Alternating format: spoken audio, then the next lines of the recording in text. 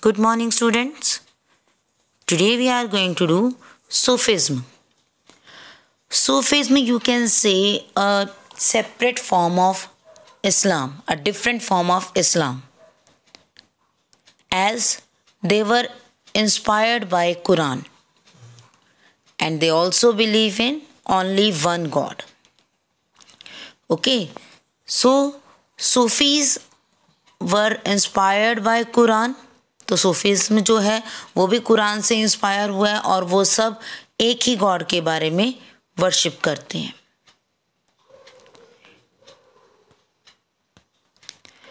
The word Sufi is derived from सूफ सूफ means wool okay as these mystics wore a long woollen coat ये जितने भी सूफी संत थे all these persons wore a long coat that is made by woolen things. तो that woollen fabric is known as सूफ जिस वुलन फैब्रिक का वो कोट वियर करते थे, उसे सूफ कहा जाता था। उस वूल को सूफ नेम दिया जाता था। So Sufism is derived from that सूफ coat okay Sufis believed that all human beings are children of one God. Love for humanity is the love for God. It means we should help poor people or all the needy persons. Okay, and this is the love for God. If we just worship God and not uh, help the don't help the poor or needy persons or the humans or animals, then this is not love for god.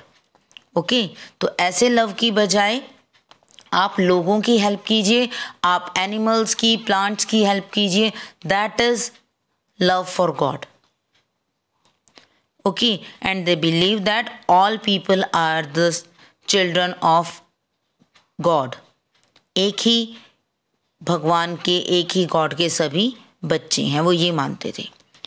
Okay they believe in guru shishya relationship as the Sikhism Sikhism also relationship between guru and shishya it is a tradition of guru shishya relationship so Sufism is also the relationship between guru and shishya guru was known as पीर। आपने बहुत जगह पीर की दरगाह देखी होगी। It means वो उनके गुरु की दरगाह है। वहाँ पर उन्होंने अपने गुरु को ब्यूरेट किया है, दबाया है। Okay so Guru was known as पीर। गुरु को पीर कहा जाता था एंड शिष्य एज मुरीद। गुरु is Pir and shishya is मुरीद।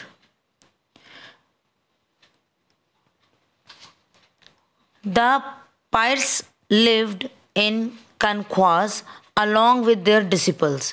जो पीर थे, पीर्स जो थे, वो कनख्वा में रहते थे। कनख्वा मीन्स जैसे हमारे आश्रम होते हैं, जहाँ गुरु और शिष्य रहते थे, गुरुकुल में same they live in कनख्वास okay pirs जो थे, वो कनख्वास में रहते थे विद देयर डिसिपल अपने शिष्यों के साथ। Some of their practice were similar to Hinduism वो जो प्रैक्टिस करते थे, वो जो वर्क कर रहे थे, जिस तरह की वो गॉड के साथ वर्शिप करते थे, वो चीज़ें हिंदुज़म के साथ सिमिलर थी। हिंदुज़म एंड बुद्धिज़्म के साथ। That is penance that means deep meditation meditation भी वो करते थे फास्टिंग जैसे हम लोग फास्ट रखते हैं, pranayama good deeds believe in equality among all without any distinction of colour caste और क्रीड ओके वो इक्वलिटी में बिलीव करते थे कि कोई भी कलर के अकॉर्डिंगली या कास्ट या रिलीजियस बिलीफ के बेस पर किसी के साथ डिस्क्रिमिनेशन नहीं होना चाहिए। Clear so they their practice of worshipping god is similar to Hindus okay Sufism propagated that God is Haq and universe is Khalaq. जो गॉड है, वो हक है और यूनिवर्स जो है, वो नरक है। नरक के समान है। यहाँ की जो चीज़ें हैं यूनिवर्सल थिंग्स हैं, ये हमें गलत चीज़ों की तरफ़ ले जा रही हैं। तो वो गॉड को ही एक मोटिव मानते थे, एक अपना प्रॉपर गोल मानते थे कि हमें गॉड से मिलना है बट ये यूनिवर्स हमें रोक रहा है। तो they propagated that god is हक एंड यूनिवर्स इज़ खलक